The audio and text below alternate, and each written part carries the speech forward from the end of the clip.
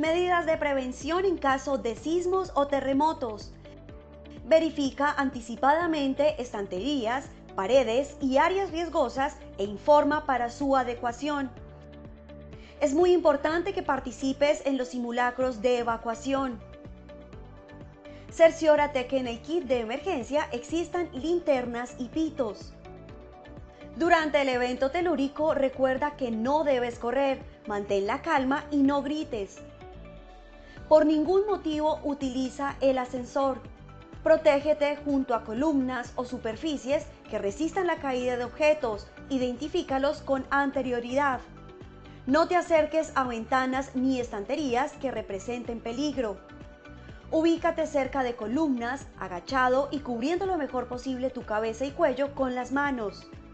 Recuerda siempre que se presentarán réplicas y verifica objetos inestables para evitar más accidentes. Si te encuentras en la parte exterior, debes tener distancia de árboles y postes. Para la evacuación debes salir ordenadamente sin obstaculizar las escaleras o puertas de emergencia. Si te encuentras atrapado de ser posible, activa la luz de tu celular, un timbre fuerte o golpea un objeto que esté cerca para ayudar a tu ubicación. Es importante interrumpir los sistemas de energía y gas. Al salir, ten cuidado con la caída de vidrios y objetos contundentes y dirígete al punto de encuentro asignado en los simulacros.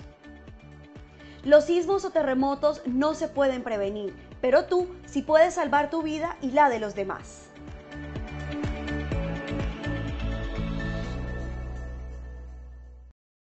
buenos días para todos nuestros asistentes. Reciban un cordial saludo desde Positiva Compañía de Seguros y Positiva Educa. Soy Paola Quintero, quien nos acompañará en la acción educativa de la Comunidad Nacional de Conocimiento en Gestión del Riesgo eh, de Emergencias y Desastres. Con la temática titulada Sesión 2, Herramientas para realizar inspección en infraestructura, identificación de amenazas y análisis de vulnerabilidad. Para dar inicio, damos la bienvenida a nuestro experto de la comunidad, el doctor Santiago Aristizábal Molina, él es administrador de empresas, especialista en gerencia de salud ocupacional y magíster en gestión de riesgo y desarrollo. Doctor Aristizábal, muy buenos días y bienvenido. Hola Paola, muy buenos días. Gracias por la invitación. Como siempre, para mí es todo un honor compartir con ustedes este espacio de conocimiento.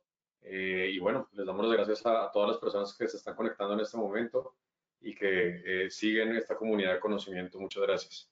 Inicialmente eh, vamos a tener, eh, les vamos a mostrar la ruta de conocimiento, como bien lo mencionaba Paola, pues vamos en la sesión número 2. Tenemos por delante eh, ocho sesiones más aproximadamente, donde vamos a ir desarrollando ciertos temas puntuales frente a la gestión de riesgos de emergencias y desastres, reforzando algo de lo que hemos visto antes, profundizando también algo de lo que son estudios técnicos, estudios detallados. Y bueno, esperamos que nos puedan acompañar eh, durante este año en esta comunidad. Muchas gracias. Inicialmente vamos a empezar con la evaluación. Podemos empezar con la evaluación, eh, por favor. Sí, señor doctor. Así es. Vamos a iniciar con nuestro sondeo. El, el, objetivo del sondeo inicial es conocer con qué conocimiento llegan nuestros participantes a esta acción educativa y el objetivo del sondeo final es saber qué conocimientos adquirimos a lo largo de la misma. Dando a conocer el objetivo del sondeo, iniciamos con la primera pregunta. La NSR 10 es una norma que da lineamientos para inspeccionar una edificación. Esto es A verdadero, B falso. 15 segundos para que respondan la opción que consideren correcta. Estos son los resultados de nuestra primera pregunta.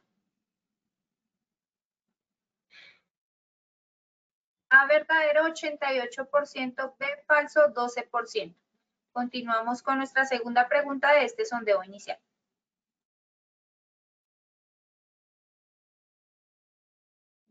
La inspección de instalaciones con drones es válida para alimentar estudios de riesgo.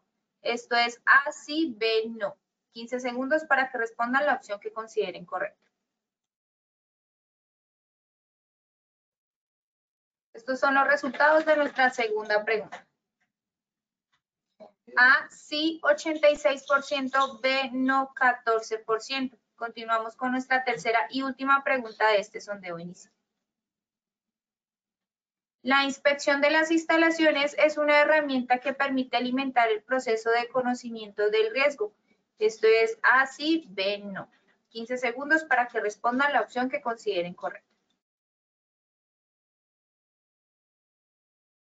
Estos son los resultados de nuestra tercera y última pregunta. A, sí, 98%, B, no, 3%. Conociendo así los resultados de este sondeo inicial, le damos el paso a nuestro experto, el doctor Aristizabal. Bueno, muchas gracias, Paola. Muy interesante la, la respuesta. Y bueno, vamos a proceder a desarrollar un poco esos temas eh, a lo largo de la conferencia. Igualmente vamos a tener eh, unos tres momentos principales. Vamos a ver algo de tipos de infraestructuras críticas, algo de herramientas tecnológicas para la inspección de infraestructura y qué metodologías de evaluación de riesgos podemos tener basados en la inspección de infraestructura. Como objetivo general, tenemos que abordar los temas relevantes y las prácticas que ayuden a los asistentes a comprender mejor los desafíos y las soluciones disponibles actualmente, pues hay muchas, pero vamos a explorar algunas, eh, para inspeccionar infraestructura en nuestro país.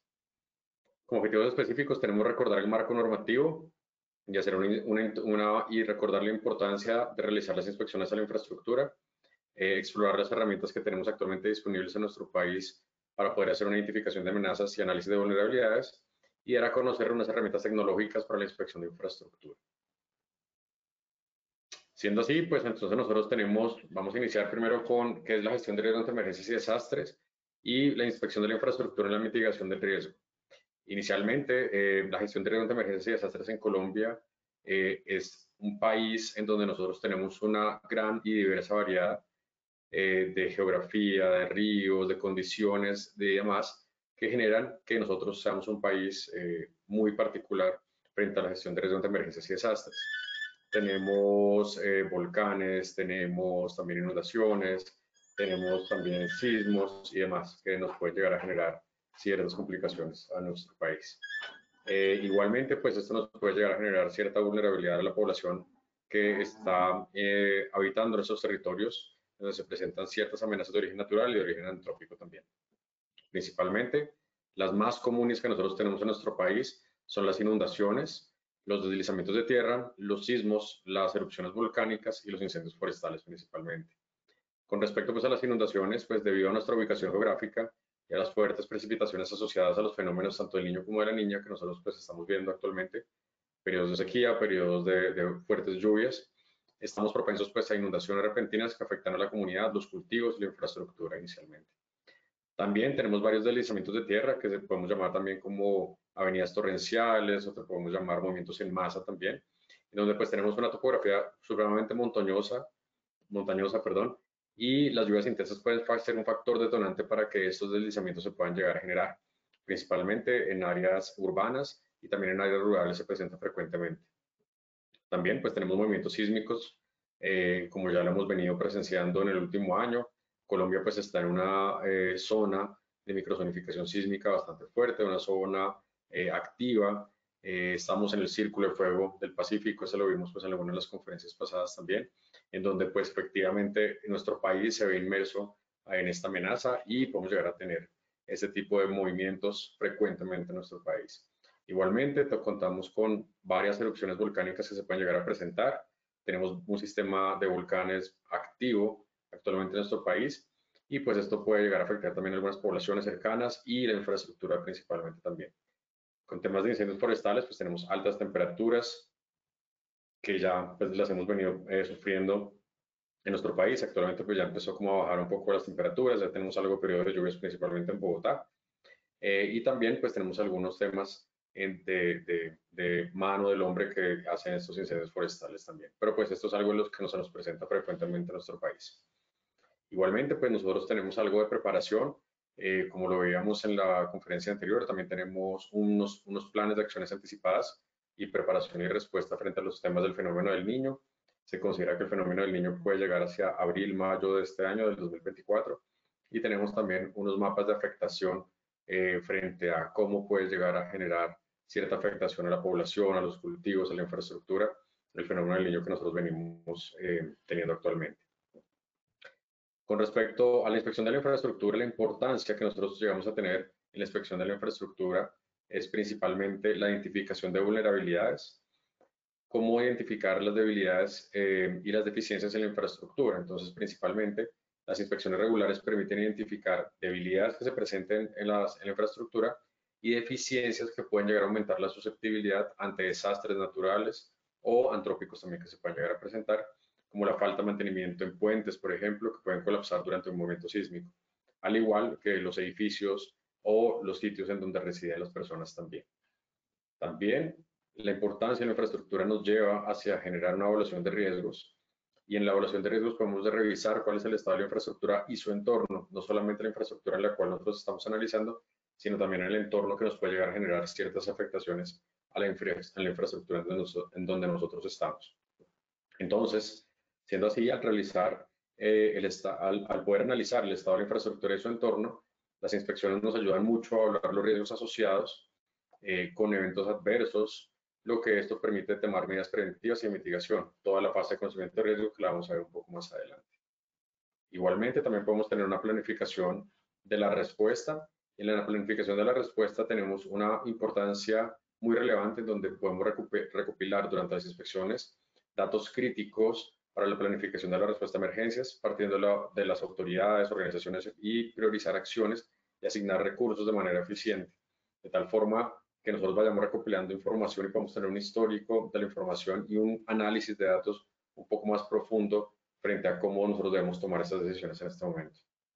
Igualmente también tenemos una reducción en el impacto, ah, porque pues si nosotros detectamos y corregimos los problemas de la infraestructura antes de que ocurran, eh, los desastres que se pueden llegar a presentar, las inspecciones contribuyen a reducir el impacto estos, eh, en la población, en la infraestructura y en la economía en la que nosotros estemos eh, habitando actualmente.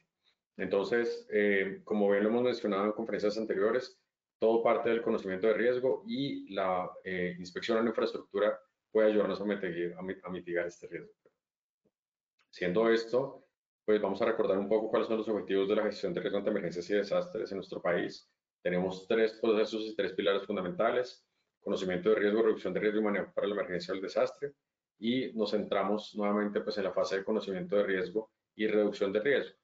Eh, todo, todo, lo que tiene que ver con inspección de infraestructura, inspecciones planeadas, inspecciones pues, de los sitios donde nosotros estamos, de las poblaciones y demás, eh, generan y alimentan um, todo el proceso de conocimiento de riesgo de una forma supremamente importante. ¿Dónde podemos llegar a adquirir información? Recuerden que nosotros tenemos un sistema de gestión de riesgo para emergencias y desastres en nuestro país. Contamos con un Consejo Nacional para Gestión de Riesgo, contamos con una Unidad Nacional para Gestión de Riesgo. En la Unidad Nacional para Gestión de Riesgo tenemos un comité de conocimiento, un comité de reducción de riesgo y un comité de manejo de emergencias y desastres. A nivel departamental, contamos con un consejo departamental para la gestión de riesgo y a nivel municipal, un alcalde en donde tenemos un consejo municipal para la gestión de riesgo ante emergencias y desastres. Eh, este, siendo este pues una fuente de información bastante grande en donde cada uno de estos niveles han generado o generan frecuentemente estudios de su población, de su infraestructura, de su ordenamiento territorial y esto nos puede ayudar mucho a alimentar los, los análisis de infraestructura o las inspecciones de infraestructura de nuestro entorno, ya sea de nuestra empresa o de nuestro municipio o departamento en el que nosotros estemos.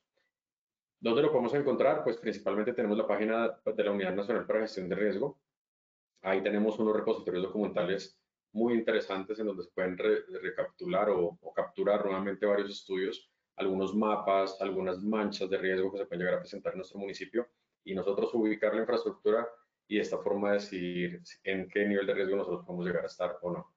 Al igual que en cada uno de los municipios, también cada municipio y cada departamento tiene unas páginas supremamente buenas y su obligación es ir comentando, ir contando y difundiendo cuáles son los riesgos que se pueden llegar a presentar en esta población.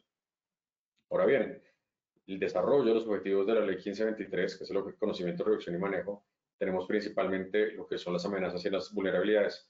Vamos a recordar rápidamente cómo se identifican amenazas y cómo se analizan vulnerabilidades, ya que esto es papel fundamental de las inspecciones. Entonces tenemos amenazas de origen natural o antrópico, natural, generada por la naturaleza, antrópico generado por el hombre, y las antrópicas tenemos otra subdivisión que es intencional y no intencional. Si esto lo multiplicamos por la vulnerabilidad, y la vulnerabilidad es que tan vulnerable soy yo, mi entorno, mi empresa, mis procesos frente a la materialización de las amenazas, ahí tenemos un nivel de riesgo. Entonces recuerden que para los temas de gestión de riesgo de emergencias y desastres tenemos la combinación de varias variables que nos dan como resultado el riesgo. Diferente de pronto a otras metodologías donde tenemos unos riesgos y empezamos a calificar esos riesgos. Actualmente nosotros tenemos es dos variables que nos van a permitir generar una fuente de riesgo. Sin embargo, si esto fuera una fórmula matemática y tenemos 4 por 2 es igual a 8 y quisiéramos que el nivel de riesgo se disminuya a 0, o sea, este 8 tiende a 0, pues importantísimo fuera eliminar, ojalá, la amenaza. Pero eliminar la amenaza en ocasiones es muy difícil, principalmente cuando son de origen natural. Por consiguiente, trabajamos en la vulnerabilidad, en que esta vulnerabilidad se disminuye, tiende a cero, es decir, fortalecer capacidades para que seamos cada vez menos vulnerables. Y cada vez podemos empezar a atender ese número 8 a 0. Ahora bien, ¿cuál es el marco normativo que nosotros tenemos en nuestro país actualmente? Tenemos algunas leyes y regulaciones relacionadas con la inspección de infraestructura en Colombia y también tenemos algo de normatividad frente a seguridad de estándares de construcción vigentes. Principalmente, pues tenemos la ley 1523 del 2012, la que hemos trabajado frecuentemente, y la ley 1523 establece el Sistema Nacional para la Gestión de Riesgos de Emergencias y Desastres en Colombia, también define políticas, define estrategias, define estructuras organizativas y mecanismos para la gestión de riesgos de desastres en el país. Eh, en el marco de la ley se pueden promover la identificación y evaluación de riesgos, nos lo pide muy, muy enfáticamente, y se promueve la identificación eh, y la implementación de las medidas de riesgo y análisis de vulnerabilidad para fortalecer la resiliencia de la infraestructura. Recuerden que la, de la ley 1523 se desprende el decreto 2157 y este decreto 2157 nos pide ya o nos, o nos da unos lineamientos muy claros frente a cómo lo debemos hacer al interior de nuestras organizaciones. También tenemos la ley 400 de 1997. En esta ley se establecen disposiciones para la prevención y atención de, de desastres en Colombia. Se definen responsabilidades de las autoridades locales, regionales y nacionales en la gestión de riesgo y establecen procedimientos también para declaratoria de emergencia y de desastre. También tenemos la NSR 10, la norma, colombiana de diseño sismo resistente. Esta norma establece varios requisitos mínimos para el diseño, construcción y evaluación de resistencia sísmica en las edificaciones en Colombia. La NSR 10 también proporciona unos lineamientos técnicos para garantizar que la infraestructura sea capaz de resistir los efectos de los movimientos sísmicos, reduciendo así el riesgo del colapso y la pérdida de vidas humanas. Esta norma nos permite abordar varios, varios, varios temas en temas, pues como, como bien lo mencioné, infraestructura, también de señalización, de rutas de emergencia y demás, es muy, muy, muy buena y nos da un lineamiento técnico con el cual podemos comparar la infraestructura que nosotros estamos inspeccionando. También tenemos algunas normas específicas, como algunas NSR10, que ya lo hemos hablado también, y algunas normas técnicas en Colombia también que podemos llegar a, buscar en el ICONTEC y en las, las entidades pues, de, de certificación también. También tenemos el reglamento colombiano. Ok, listo. ¿Bien ahí, Paula? Sí, señor, ya. Bien, listo. Entonces tenemos acá un resumen del marco normativo actual. Entonces, la, la, recuerden que la normatividad de, de la gestión de riesgos de emergencias y desastres parte de un compromiso global, un compromiso planetario, en donde en el marco de acción de Sendai se realiza la firma de los compromisos de los países frente a la reducción de riesgo de desastres. Este acuerdo está firmado de 2015 al 2030 y ah, en Colombia, al ser un país firmante, pues se compromete a poder realizar acciones de reducción de riesgo en nuestro territorio colombiano. Igualmente, Colombia es un país firmante de los compromisos de Río más 20, en donde se compromete también a cumplir los desarrollos de objetivos sostenibles 2015. También tenemos algunas normas y estándares internacionales, no solamente los que les mostré en la diapositiva anterior, sino también tenemos algunos ISO también, algunas normas eh, internacionales que nos van generando estos temas y nos van incentivando a que se sigan aplicando medidas de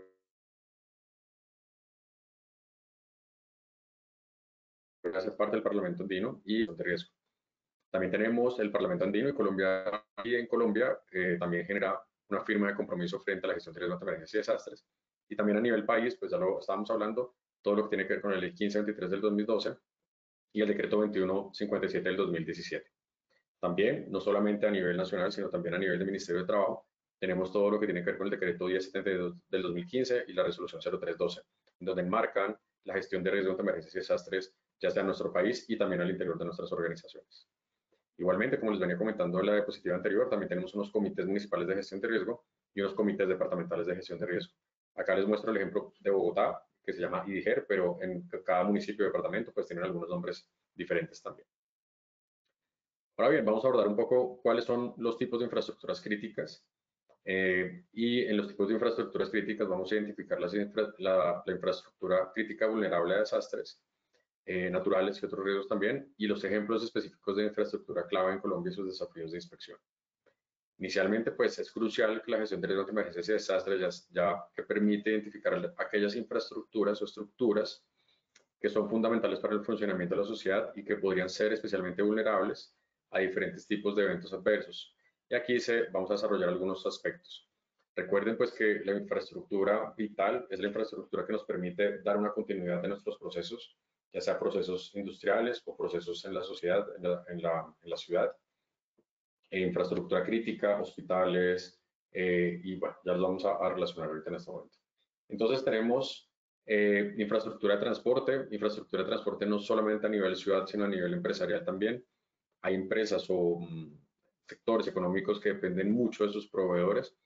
Eh, el caso de los hospitales y las clínicas, en donde dependen de, la, de los proveedores de oxígeno, por ejemplo. Deben mantener una reserva de oxígeno, pero también cuando esa reserva de oxígeno se, se, se prene, cuál sería la forma en la cual la, la, el proveedor de oxígeno va a llegar a recuperar este oxígeno que nosotros tenemos. Entonces, la infraestructura es crítica en temas de transporte, no solamente a nivel ciudad, sino a nivel también materia prima y a la posibilidad de hacer continuidad de negocio de nuestras, de nuestras empresas en las que ustedes están. También tenemos infraestructuras energéticas, lo mismo la infraestructura energética, pues pueden ser centrales hidroeléctricas, subestaciones, líneas de transmisión, redes de distribución, y son esenciales para, para suministrar el, suministro, el servicio de energía, perdón, y son vulnerables frente a efectos climáticos, incendios forestales o ataques cibernéticos o ataques pues ya de, de, infraestructura de grupos al margen de la ley, que en nuestro país sucedió hace un muy buen tiempo, en donde frecuentemente hay unos ataques a la infraestructura energética. Nosotros como empresas, como compañías, debemos estar muy pendientes de cómo nosotros podemos eh, implementar unos planes de contingencia frente a la pérdida de la infraestructura energética a la pérdida del fluido eléctrico hacia nuestras instalaciones también. También tenemos toda la infraestructura de agua y saneamiento. Es importantísimo tener la represa, los sistemas de abastecimiento, abastecimiento de agua potable. Actualmente, pues en nuestro país ya estamos viviendo pues una crisis de nuestro abastecimiento de agua, entonces es importantísimo tener unos planes de contingencia o intentar tener planes de contingencia frente al suministro de agua. Importantísimo las plantas de tratamiento de aguas residuales y redes de alcantarillado son críticas para la salud pública, para la salud en desastres. Si nosotros no tenemos unas plantas, de tratamiento que continúen su operación, tenemos una eh, cadena de eventos post desastre que nos van a complicar mucho la vida de las personas que habitan en esa ciudad también. Eh, también esa, esa, infraestructura puede ser afectada por inundaciones, por sequías, por contaminación o por colapsos estructurales. Entonces, la inundación también puede llegar a afectar esa infraestructura de agua y saneamiento, porque puede generar unos reboses bastante complejos también, las sequías también, porque necesitamos agua para poder que las plantas funcionen también, y algunos colapsos estructurales que se pueden llegar a presentar durante movimientos sísmicos. También tenemos la infraestructura de comunicaciones, son todas las redes de comunicaciones, estaciones base, cables submarinos, centros de datos indispensables para la comunicación y el intercambio de la información. Y estas, esta infraestructura puede ser vulnerable a eventos como huracanes, terremotos y ataques cibernéticos. Entonces también, y no solo ataques cibernéticos, sino también ataques de grupos al margen de la ley también. Esto también sucedió en algún momento, afortunadamente pues ya no sucede, eh, pero también teníamos ataques que se podían llegar a presentar a la red de infraestructura de comunicaciones. Recuerden que la, la red de comunicaciones actualmente no solamente viaja voz, sino viajan datos también, eh, viaja pues todo lo que tiene que ver con vía microondas, radioteléfonos y por medio de los radioteléfonos pues se pueden transmitir muchos datos críticos, ya sea de la nación, de nuestra ciudad o de la empresa como tal. Esta red de comunicaciones pues, nos puede llegar a afectar a nosotros toda la continuidad del negocio frente a la recuperación de datos también, frente a todos los backups que se están haciendo, eh, principalmente pues con temas de bancos, en donde frecuentemente van enviando información hacia sus backups, ya sea al interior del país o fuera del país también.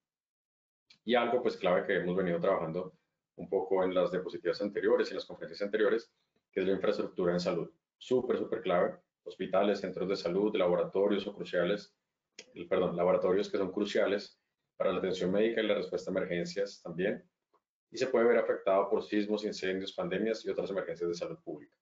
Entonces recuerden que eh, los hospitales y clínicas están bajo una sombrilla de los hospitales seguros de la Organización Mundial de la Salud, donde piden que esta infraestructura intente disminuir la vulnerabilidad a lo máximo, porque pues es, es la infraestructura que debe estar eh, siempre activa en el momento de una emergencia o un desastre que se puede llegar a presentar en una ciudad. Voy a revisar el chat de preguntas, que tenemos algunas,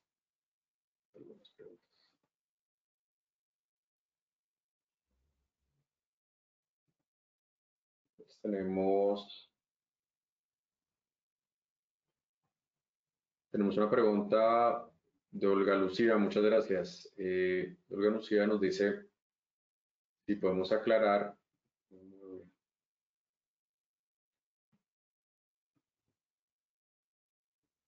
Listo, Olga Lucía Hurtado. Aclarar cuál legislación tenemos en cuenta para análisis de amenazas y vulnerabilidades. Listo, Olga. Claro que sí, con mucho gusto. Eh, voy, a, permitirme devolver. Un segundo. Olga, mira, principalmente, pues tenemos estas eh, para realizar análisis de amenazas y vulnerabilidades al interior de organizaciones, de empresas. Tenemos un decreto que es el decreto 2157 del 2017 y en este decreto nos habla acerca de la elaboración de los planes de gestión de riesgo de desastres de las empresas públicas y privadas. Ahí tienes un contexto supremamente eh, grande frente a cómo hacer análisis de amenazas y vulnerabilidades, o más que cómo hacerlo es un lineamiento normativo, pero también puedes buscar varias metodologías. Como lo hemos hablado en conferencias anteriores, no hay una sola metodología eh, específica y la mejor para todas, sino cada empresa y cada sector económico debe adoptar la mejor metodología que se adapte a las condiciones pues, de este sector económico. Tal vez una metodología que utilicen en empresas de hidrocarburos tal vez no funciona muy bien para empresas de servicios o para una empresa de transporte o de alimentos. Entonces es importante que esas metodologías no se trasladen de un sector económico a otro sin ninguna adaptación. Sin embargo, pues todas las metodologías pueden ser muy buenas, o las metodologías que conocemos actualmente, pues hay algunas muy buenas, pero es importante adaptarlas y empezar a modernizarlas a medida que va pasando el tiempo. Entonces, en temas de legislación para, eh, en cuenta para análisis de amenazas y vulnerabilidades, ley 1523, decreto 2157, te habla un poco. Sin embargo, ya la metodología del hacer, tenemos, hay varias metodologías también, lo hemos visto en conferencias anteriores, pero pues hay ciertas metodologías que nos permiten llegar eh, a unos resultados mucho mejores. Ok. Nos pregunta John Alexander desde Pasto. Muchas gracias. Saludos desde Pasto. Eh, es deber legal que toda empresa en su plan de prevención tenga un análisis de amenazas vulnerabilidades. Esta se debe evaluar o actualizar mínimo cada cuánto. Bueno, John, muchas gracias por la pregunta, importantísimo. Y bueno, por, esto, por eso siempre refuerzo un poco esta primera parte de la ley 1523. Es muy, muy importante. La ley 1523 nos, permite, nos pide que la gestión de riesgo en nuestro país se haga mínimo, mínimo con estos tres pilares fundamentales conocimiento de riesgo, reducción de riesgo y manejo de la emergencia del desastre. Y en la fase de conocimiento de riesgo tenemos varias acciones, identificación y análisis de amenazas, análisis de vulnerabilidades, análisis del riesgo y, y construcción de escenarios de afectación, monitoreo de riesgo y comunicación de riesgo principalmente. Como lo hemos venido hablando en algunas conferencias anteriores, la fase de conocimiento de riesgo es el corazón del plan de gestión de riesgo de las empresas si esto no queda bien elaborado, las medidas de reducción de riesgo, las medidas de manejo de la emergencia del desastre, pues tal vez van a apuntarle hacia otra parte o van a ser unos esfuerzos que se van a llegar a perder. Entonces, eh, pues yo me permitiría responder, John, John Alexander, que sí, todas las empresas deben tener análisis de amenazas y vulnerabilidades. Eh, y como lo pueden ver acá en este cuadro, no es un solo estudio. Recuerden, en algunas conferencias anteriores hemos hablado mucho que la identificación y análisis de amenazas es fundamental también y que vamos a intentar dejar de decir eh, que nuestros estudios son análisis de vulnerabilidades, sino identificación y análisis de amenazas y análisis de vulnerabilidades. Son dos cosas muy importantes que no solamente no se deben mezclar. Entonces, uno es la identificación de amenazas, es clave, y posteriormente analizamos las vulnerabilidades frente a cada una de las amenazas. Entonces, frecuentemente, pues como en, la cotidianidad, eh, hablamos de análisis de vulnerabilidades pero se nos va o se nos queda un poco la identificación y análisis de amenazas, que es clave. Yo no puedo identificar vulnerabilidades si no tengo identificadas las, amenazas. No puedo analizar vulnerabilidades, qué tan vulnerable soy, si no tengo eh, identificadas, muy bien identificadas amenazas. Entonces, es, es, muy importante esta fase, eh, John Alexander, en donde tenemos pues las la amenaza, listo, amenaza por vulnerabilidad es igual al riesgo. Si yo no identifico bien las amenazas, no tengo cómo analizar vulnerabilidad y no tendría un buen nivel de, de, riesgo. Entonces, ah, bueno, y cada cuánto se debe actualizar. Eh, John Alexander, pues se va a actualizar cada vez que suceda una emergencia, por pequeña que sea en la organización, cuando existan algunos cambios de infraestructura que consideren que puede llegar a modificar esta identificación de amenazas y análisis de vulnerabilidades, mínimo cada una, una vez al año, o cuando ustedes lo consideren. Realmente hemos hablado mucho pues que este documento, este plan de gestión de riesgo, estos análisis, identificación de amenazas y análisis de vulnerabilidades deben ser un elemento vivo que se vaya actualizando frecuentemente en nuestra organización. Entonces, no tenemos un, un máximo de tiempo, pero un mínimo, pues, un año, pero no necesariamente tenemos que irnos a un año. Es decir, si consideramos que algo cambia, algo modifica, por ejemplo, que se cambia un vecino hacia de nuestra organización, de nuestra empresa, de nuestra fábrica, y ponen eh, una estación de gasolina al lado de nuestra empresa, pues deberíamos modificar esta identificación de amenazas y análisis de vulnerabilidades en un edificio administrativo. Em, de pronto en la parte, en el piso de arriba pusieron una embajada y antes no había una embajada, pusieron un laboratorio químico. Entonces es importante pues que este análisis empiece a actualizarse dependiendo de las condiciones de nuestro entorno o las condiciones internas. Importante. Bien. Entonces estamos hablando pues de la infraestructura crítica. Entonces, pues es crucial, no solamente a nivel ciudad, sino a nivel también empresarial, es importantísimo pues que identifiquemos mínimo estas y que a esta infraestructura crítica se le pueda hacer un plan de inspección bien bueno dependiendo pues de las necesidades de cada uno de ellos, de esta infraestructura. Algunos, algunos ejemplos específicos de infraestructura clave en Colombia y sus desafíos de inspección, pues tenemos las hidroeléctricas, la red de carreteras y la red de oleoductos y gasoductos también. En Colombia pues se cuenta con numerosas centrales hidroeléctricas, que son vitales para la generación de energía en nuestro país principalmente, y el desafío es inspeccionar, esta, inspeccionar esta infraestructura radica en la ubicación remota que se tiene, pues las tenemos en sitios un poco alejados también, y la necesidad de evaluar constantemente su integridad física también estructural debido a la cantidad de movimientos sísmicos que se presentan en nuestro país también y algunas condiciones climáticas externas. Ahorita tenemos un periodo de sequía fuerte, esto también hace que la, los materiales cambien, que los materiales puedan empezar a a sufrir ciertas eh, afectaciones también. Entonces es muy importante generar ese tipo de inspecciones, pues ojalá después de este periodo o en este periodo también cuando se está generando también. Tenemos pues una red de carreteras, tenemos una extensa red vial en Colombia. Eh, es esencial para el transporte. Eh, en, en, nuestro país desafortunadamente dependemos mucho de las carreteras, de las vías terrestres para poder generar nuestro transporte de todo, de em, alimentos, de medicamentos y demás. Em, no tenemos pues una red férrea que soporte o que sirva también como transporte de carga en nuestro país, entonces pues es, es crucial. Em, también nosotros tenemos un transporte de población, un transporte de público en general bastante grande por carretera, em, no necesariamente por vía eh, avión, sino por carretera también, entonces es muy importante. Y Colombia, pues también al ser un país productor de hidrocarburos, tiene una red de oleoductos y gasoductos muy grande, extensa también, cruza de lado a lado nuestro país eh, y es muy importante pues que esta red de oleoductos y gasoductos pues esté frecuentemente monitoreada. Actualmente ya se hace, actualmente se hace un monitoreo frecuente. Em, recordemos que desafortunadamente hace unos años pues teníamos también algunas explosiones en estos oleoductos también y esos ataques pues eh, nos generaban unas complicaciones ambientales supremamente grandes, eh, no solamente el estallido de, de, la red de hidrocarburos, sino la afectación de, de, de su entorno y de la el, toda la, naturaleza y, la ecología que, se presenta, que está alrededor de estas, estas redes de oleoductos y gasoductos de nuestro país se vio fuertemente afectada y actualmente todavía sigue afectada, a pesar de que ya han pasado algunos años después de estos bombazos a las, las redes de oleoductos y gasoductos. Es importante que esto no llegue a suceder, no vuelva a suceder, ya que la afectación pues casi que es incalculable. ¿Qué herramientas tecnológicas en inspección de infraestructura se tiene actualmente? Se usan drones para la evaluación visual de la infraestructura también. También hay sensores remotos y sistemas de monitoreo en tiempo real. También tenemos escáneres de láser terrestres. Tenemos también unas aplicaciones móviles y software especializado para la recopilación y análisis de datos también. Entonces, la utilización de drones, pues actualmente, pues no solamente para temas recreativos, sino hay drones equipados con cámaras y sensores que permiten la realización, la realización de inspecciones visuales de las áreas de difícil acceso. Entonces podemos acceder a infraestructura, por ejemplo, dentro de cañones, funciona muy bien.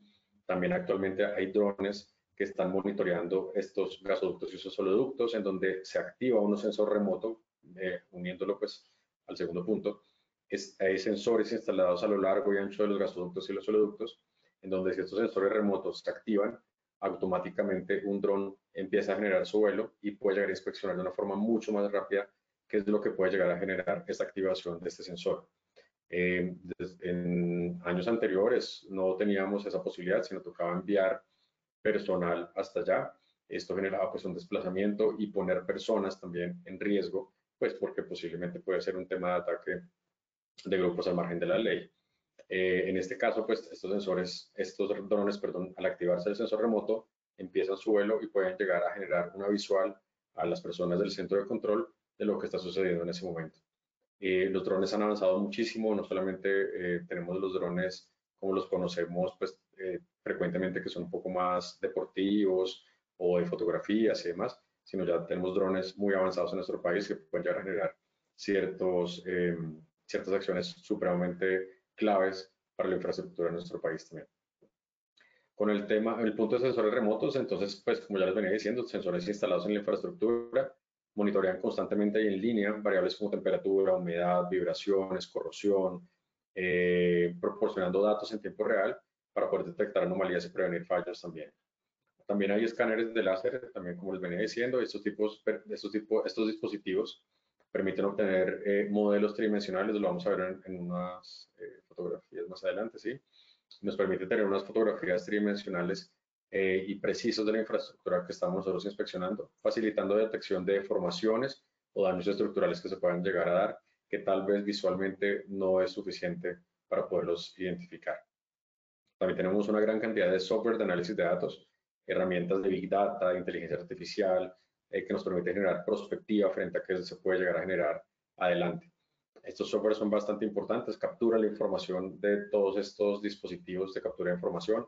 Por ejemplo, eh, se dan eh, para poder detectar si hay un movimiento en masa o no, si las montañas empiezan a moverse poco a poco, que se llama reptación del suelo, y poder empezar a pronosticar si hay periodos de lluvia, más una reptación, más las condiciones pues, de la montaña y puede llegar a, a prever y tener alertas tempranas frente a movimientos en masa que se puede llegar a presentar. También hay tecnologías de detección de materiales también, son equipos especializados que se utilizan para evaluar la calidad del material sin tener que hacer pruebas de rompimiento a la infraestructura también y ayuda para detectar posibles defectos o debilidades que puedan comprometer la seguridad de la infraestructura también.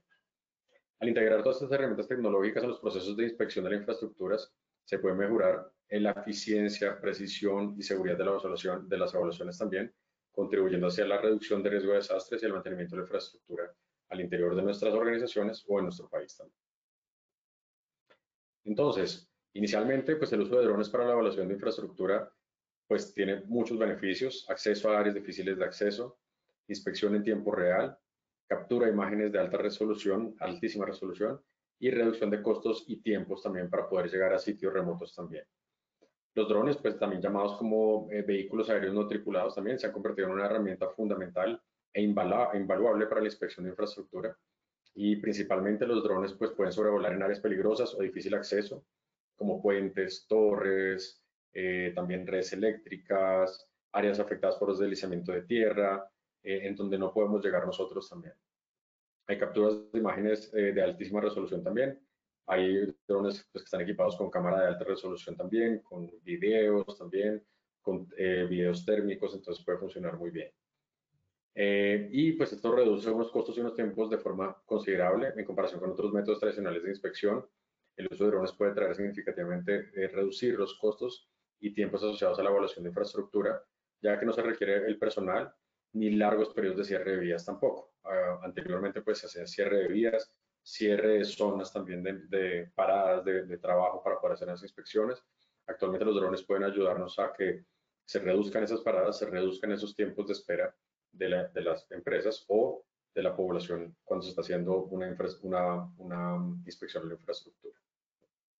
Igualmente, también los drones se están utilizando mucho para los temas de rescate también, ya para la fase de respuesta a emergencias también, en donde eh, los drones se usan con los equipos de cámaras también de video y logran llegar a, a, volar y a sobrevolar áreas peligrosas y identificar, por ejemplo, personas perdidas, identificar cómo se encuentra la persona también, en qué posición, si tiene heridas, si no tiene heridas también. Entonces el personal de rescate puede llegar a tener una visual de lo que está sucediendo tal vez abajo o en una zona de, de pronto donde no puede acceder fácilmente antes de poder realizar la labor. Normalmente se, hace, se realiza una labor, un abordaje a la persona que está herida o al paciente, ahí se toman decisiones, se vuelve a subir y se puede volver a tener una pérdida de tiempo ahí grande. Entonces el dron nos permite poder tener una información clave de la persona que se va a rescatar antes de poder llegar al rescate también.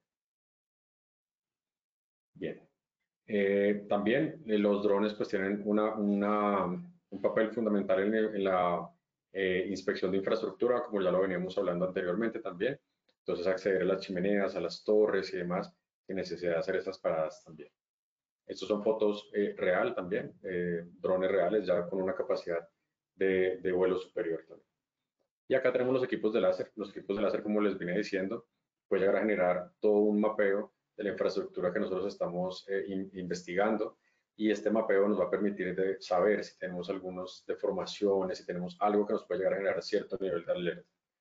Eh, estos equipos pues pueden estar disponibles frecuentemente, entonces nos genera también la posibilidad de poder hacer inspecciones de una forma más rápida, de una forma frecuente también y constante.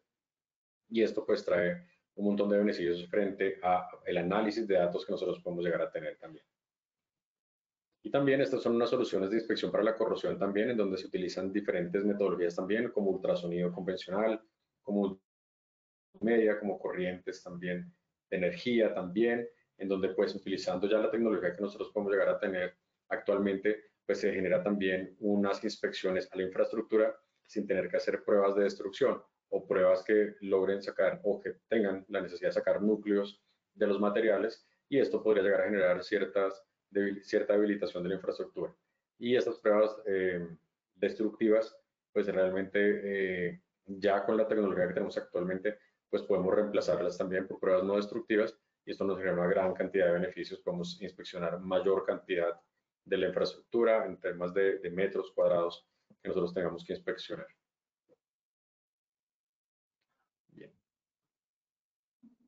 Igualmente, pues también tenemos los sensores remotos y sistemas de monitoreo, como les venía diciendo, hay sensores de vibración y de formación también, hay sensores de temperatura y humedad, hay sistemas de monitoreo sísmico, hay redes de sensores inalámbricos también.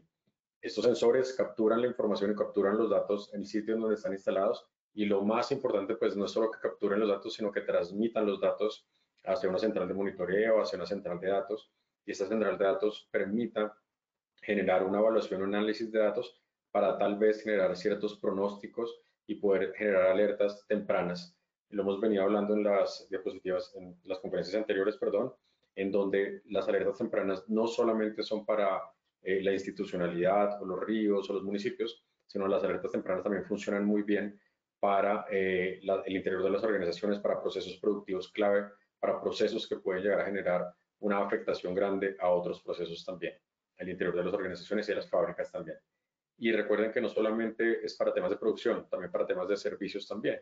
Estos sensores y sistemas de monitoreo, tal vez no estos que les traigo en esta diapositiva, pero pueden haber otros sensores que vayan indicando fallas en la prestación de servicio y estos indicadores de fallas de la prestación de servicio nos pueden llegar a generar algunas alertas tempranas también.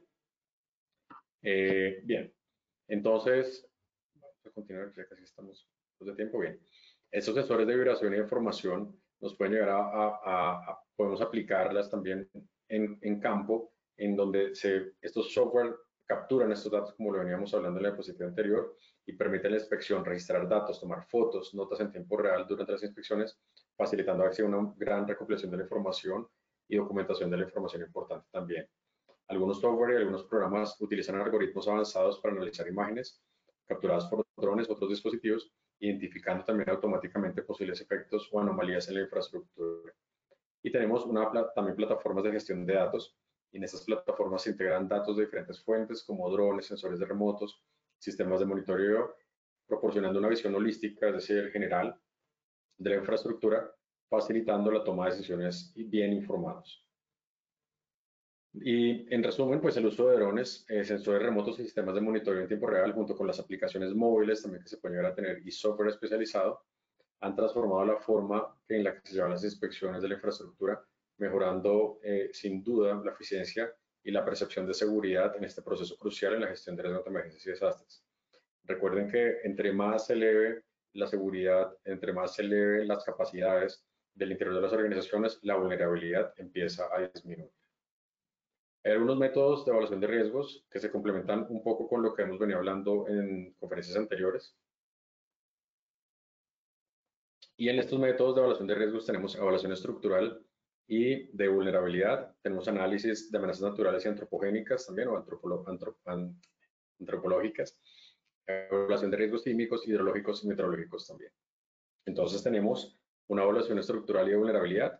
En esta evaluación estructural y de vulnerabilidad se centra en determinar la capacidad de una infraestructura para resistir los efectos de un evento adverso. Cuando hablamos de un evento adverso, no necesariamente sismo, también podemos medir una infraestructura hacia em, amenazas, por ejemplo, incendios. Entonces, uno puede, pues, pueden hacer estudios detallados frente a cuál es el comportamiento de la infraestructura frente a la amenaza de incendios. hemos detectado en ese primer análisis de amenazas y vulnerabilidades que la amenaza más frecuente puede ser un incendio, sea estructural, sea eh, de origen natural, cualquiera. Pero entonces, como ejemplo, podemos tener un análisis de la infraestructura, el comportamiento de la infraestructura frente a la materialización de la amenaza de incendio. Y eso nos va a desplegar varias variables y esas variables se analizan para poder decir cuál podría llegar a ser el comportamiento de la infraestructura. Tenemos eh, algunas preguntas.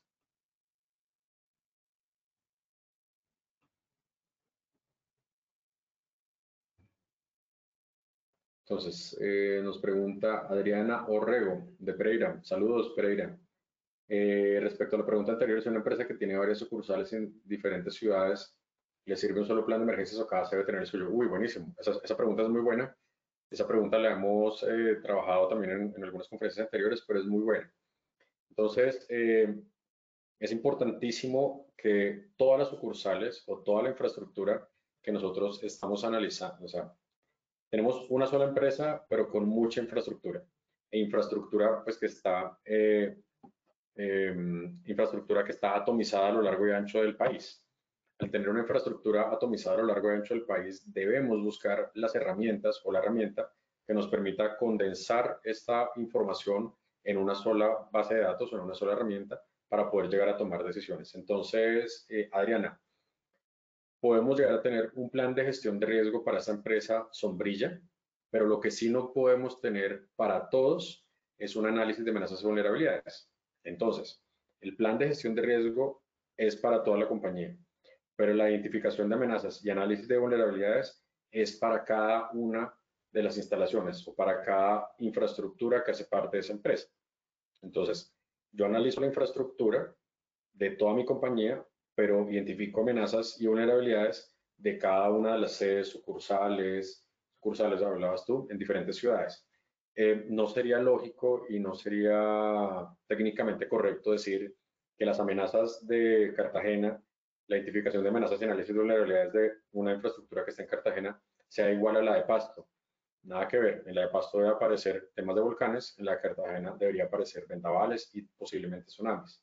Pero en Pasto tal vez tsunamis no, y en Cartagena eh, volcanes no. Entonces, si yo tengo esa misma información en todas mis sucursales, pues estaría cometiendo un error técnico que nos dispararía unas medidas de reducción de riesgo tal vez no muy em, aplicables a la realidad de esa compañía. Entonces, es importantísimo que toda esa información se condense en una sola herramienta y basado en esa condensación de información de esa herramienta, logremos tomar decisiones. Bien, y eh, Claudia Victoria nos pregunta cómo se efectúa la identificación de amenazas en redes en un edificio y conjuntos de propiedad horizontal.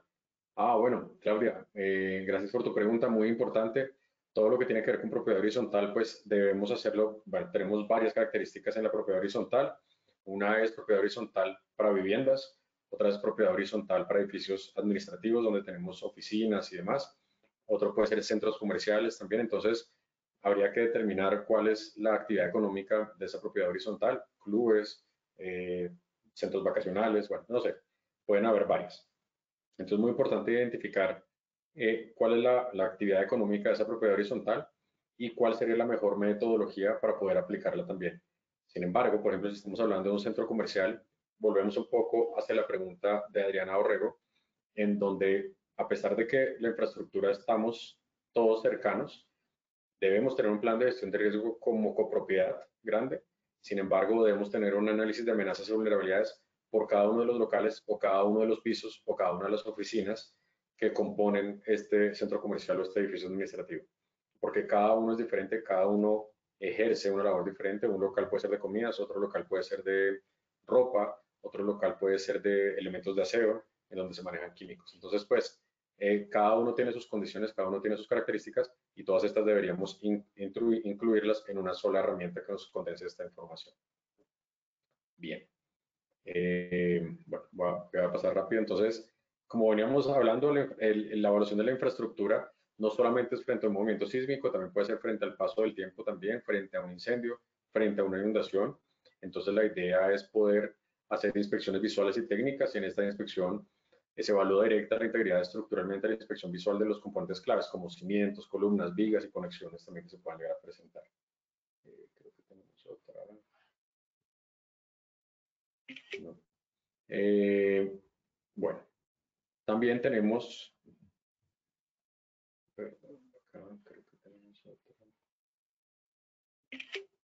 otra.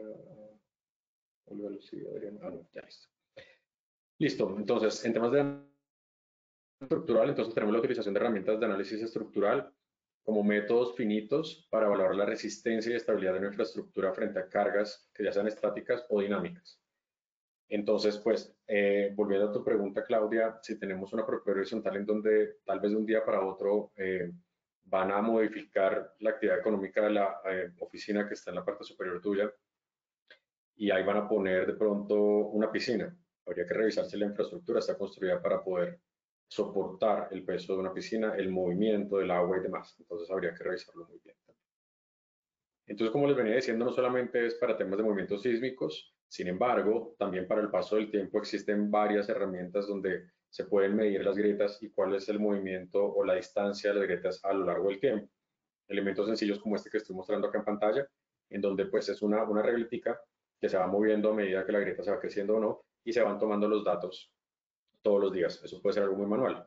Pero también existen pues actualmente unos sensores, como ya lo vimos en, las diapositivas anteriores, que van capturando la información métrica y la pueden ir enviando hacia una central de monitoreo que va generando ciertos niveles de alerta. También. Y también pues tenemos los análisis de amenazas naturales y antrópicas, como lo hemos visto pues al principio también. Se pueden hacer unos mapeos de amenazas, se pueden hacer un análisis histórico de eventos que es súper importante también también se pueden hacer unos moldeados, modelados perdón, de amenazas también y análisis de escenarios, que es importantísimo también. Igualmente tenemos una evaluación de riesgos sísmicos, hidrológicos y meteorológicos. También se puede hacer esta, esta evaluación frente a mi infraestructura, cómo se comporta frente a movimientos sísmicos, riesgos hidrológicos, eh, riesgos meteorológicos y una integración de riesgos múltiples también. Eso lo vamos a ver un poco más a profundidad en la, pues, la siguiente sesión vamos a tener todo un tema de análisis de datos bien, bien interesante también. con respecto a casos de estudio, pues tenemos algunos casos de estudio en el país. Tenemos unas inspecciones que se han generado en Antioquia, en puentes con drones también. Tenemos pues también eh, en el Valle del Cauca monitoreo de tecnologías de monitoreo remoto también, también para las centrales hidroeléctricas. Algunas de las lecciones aprendidas, pues desafortunadamente lo que sucede en Mocoa es una conjunción de varias variables, sin embargo, pues una de esas pues es la, ausencia de la inspección de la infraestructura y también algunos terremotos pasados en la región andina, como ha influenciado también nuestra normatividad también. Creo que ya estoy un poco de tiempo, entonces vamos a, seguir adelante. Em, y recuerden pues que principalmente si el elemento expuesto, es decir, la infraestructura expuesta, la población expuesta, el proceso expuesto no presenta vulnerabilidad frente a las amenazas, es decir, si esta infraestructura es capaz de anticipar, resistir, responder y recuperarse, entonces la amenaza no genera ningún riesgo. Entonces podemos llegar a tener una amenaza de incendio, una amenaza de inundación, una amenaza de movimiento sísmico, pero si la infraestructura, la población, los procesos que están dentro de esta organización no presentan vulnerabilidad frente a esta amenaza, por consiguiente, pues el nivel de riesgo tendería a ser cero, como lo hemos venido hablando. Entonces, bueno, vamos a, finalizar aquí. Recuerden, acá la, bibliografía está en la presentación también. Tenemos una gran cantidad de información, tanto nacional como internacional, para todo el tema de infraestructura. Es un tema bastante largo, pero bueno, de condensarlo lo más, lo más posible. Eh, Paola, te agradezco si podemos continuar con la evaluación. Muchas gracias. En esta ocasión, así es, doctor Aristizábal, entonces damos paso a nuestro sondeo final.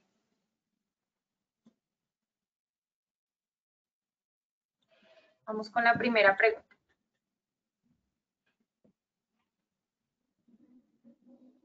La NSR10 es una norma que da lineamientos para inspeccionar una edificación. Esto es A verdadero, B falso. 15 segundos a nuestros asistentes para que respondan la opción que consideren correcta. Estos son los resultados de nuestra primera pregunta. A verdadero 95%, B falso 5%. Doctor, ¿cómo nos fue con esta primera pregunta? Bueno, bien, reforzamos, reforzamos mucho la, la, respuesta pasada y reforzamos pues durante la conferencia, pues sí, la NSR10 pues es clave para podernos guiar y favorece pues el proceso de, inspección, de inspecciones también. Tenemos ya una norma de referencia, ya no desde hace mucho tiempo tenemos una norma de referencia y tal vez es desconocida por, por algunas personas, entonces es muy importante entender que sí tenemos esa norma de referencia y que nos va a permitir también a nosotros poder hacer una, mejor inspección o asegurarnos de que tenemos un lineamiento contra quién compararnos al momento de hacer las inspecciones. Ok, doctor, muchas gracias. Continuamos con nuestra segunda pregunta de este sondeo inicial. Final, perdón. La inspección de instalaciones con drones es válida para alimentar estudios de riesgo. Esto es A sí, B no. 15 segundos para que respondan la opción que consideren correcta. Estos son los resultados. A sí, 98%. B, no, 2%. Doctor, ¿cómo nos fue con esta segunda pregunta? Bueno, muy bien. Creo que quedó muy claro. Eh, intenté pues poner algunos ejemplos de, las inspecciones con drones, cómo funcionan. Entonces, pues bueno, actualmente ya son elementos muy avanzados también y sí, es, es una herramienta para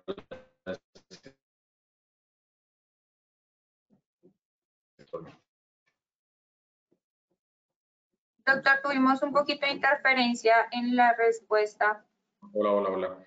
Sí, entonces estaba diciendo que, que la, se, se, logró pues dar todo, algunos ejemplos frente a las inspecciones con drones. Son, son algunos ejemplos muy puntuales. Tenemos un montón de, de, ejemplos más. Ya el tema de drones pues ha avanzado muchísimo. Ya vemos pues hasta dónde ha llegado en temas militares también. Entonces sí, es, es, es vital para las inspecciones y es muy valioso y, y es válido también para nuestras inspecciones de la infraestructura y determinar ciertos niveles de riesgo. Ok, doctor.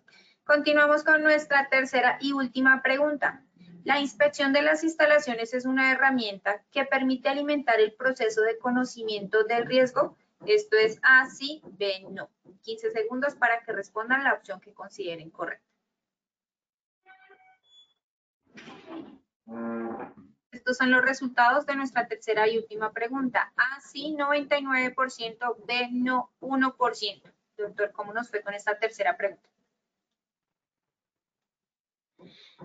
Eh, sin duda, es una herramienta fundamental. La inspección pues es fundamental como lo hemos venido hablando en la conferencia al principio. También hablamos mucho de la fase de conocimiento de riesgo, identificación de amenazas y análisis de vulnerabilidades es clave. Lo reforzamos un poco con las preguntas de, de John Alexander, de Olga, eh, en donde pues realmente es, es muy importante que logremos tener eh, una fuente de información confiable como lo son las inspecciones y que tal vez dejemos de simplemente hacer unas inspecciones de número de extintores, por así decirlo, sino entrar a profundidad hacia conocer nuestra infraestructura, conocer en dónde estamos, qué tipo de infraestructura tenemos, en dónde estamos ubicados, eh, y esto nos puede ayudar mucho a alimentar nuestro análisis de amenazas y vulnerabilidades. Es muy, muy importante. Ok, doctor. Muchas gracias por tu intervención y por compartir con nosotros esta información tan valiosa de tu comunidad. Nos veremos en una próxima oportunidad. Bueno, gracias Paola, muchas gracias. Entonces recuerden que eh, tenemos muchas herramientas, mucho conocimiento en Posipedia, pueden ingresar a Posipedia también. Eh, también tenemos el, pueden escanear el código de WhatsApp, el código QR para entrar a la comunidad educativa también. Y bueno, muchas gracias a ti, Paola, por, por la presentación y, y, bueno, encantado de estar con ustedes como siempre. Ok, doctor, muchas gracias a ti. De igual forma, agradecemos a todos nuestros asistentes por su conectividad y participación. Los invitamos a conocer nuestro centro virtual de enseñanza y aprendizaje Posipedia, www.posipedia.com.co, donde encontrarán todas nuestras comunidades de conocimiento y mucha más información para que sigan conectados con nuestro Plan Nacional Multimodal de Educación en Seguridad y Salud en el Trabajo. También queremos invitarlos a descubrir todas las acciones educativas que tenemos para ustedes en www.posipediatalleresweb.com o siguiéndonos por medio de nuestro canal de WhatsApp Positiva Educa. Pueden hacerlo escaneando el código QR que les aparece en pantalla copiando el enlace desde su celular. Recuerden que el certificado de este evento web se generará para todos nuestros afiliados de 1 a 8 días hábiles después de terminar esta acción educativa y podrán acceder a él por medio de nuestro portal Posipedia en la sección Educa. Nos dejamos con el siguiente audio coaching. Que tengan un excelente día.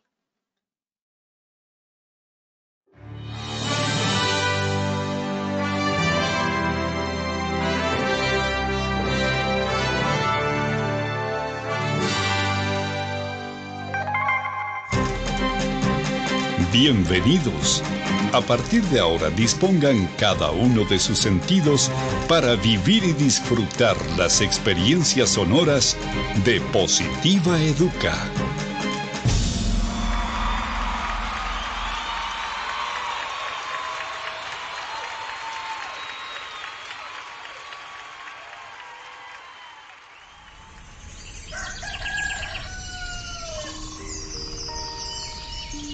Llega un nuevo día. Abro mis ojos y la luz del sol me saluda alegre diciendo con todo el brillo de su voz que una nueva oportunidad ha comenzado para mí. Que todo lo que pasó ayer se quedó solo en el ayer. Que lo dicho y lo hecho nunca podrán repetirse de la misma manera. Por eso, de nada servirá que me desgaste pensando en si lo pude haber dicho mejor o hecho mejor. No hay nada más importante que lo que suceda hoy. Por eso veo y veré cada día como el maravilloso regalo en el que la vida me entrega las llaves para abrir la puerta principal de una nueva opción, un nuevo intento. Y debo afrontarlo con toda la esperanza puesta en todo lo que soy capaz de hacer celebrando siempre el estar vivo y poder hacer parte de una familia llamada sociedad y de una casa llamada mundo. Todo lo que me sucede tiene un para qué, y ese será el detonante que hará que mi corazón explote de júbilo en cada momento de la vida, sin quejarme por nada de aquello que no salió o salga como yo espero y sabiendo de cada una de mis cualidades, dones y potencial como persona, me conjugaré en una sola fuerza para entregar la mejor versión de mí en lo que hago, haciéndolo de la mejor manera, porque no hay trabajo más productivo que el que se hace con alegría. Pensando en ello, mi primera herramienta será mi fuerza de voluntad, sabiendo que ella es el cimiento que hará que levante inmensos sueños. Porque si el trabajo me otorga pan y sustento para mi cuerpo, también es medicina para mi alma. Cuando escogí lleno de ilusión el trabajo que quería hacer y a lo que quería dedicarme en mi vida, también decidí hacer lo que más me gusta Así comprendí que solo haciendo el trabajo que me gusta, celebraré la dicha de estar ocupado.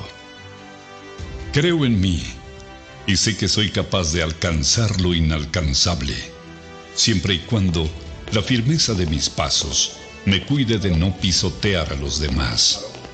En ello tengo puesto cada uno de mis sentidos.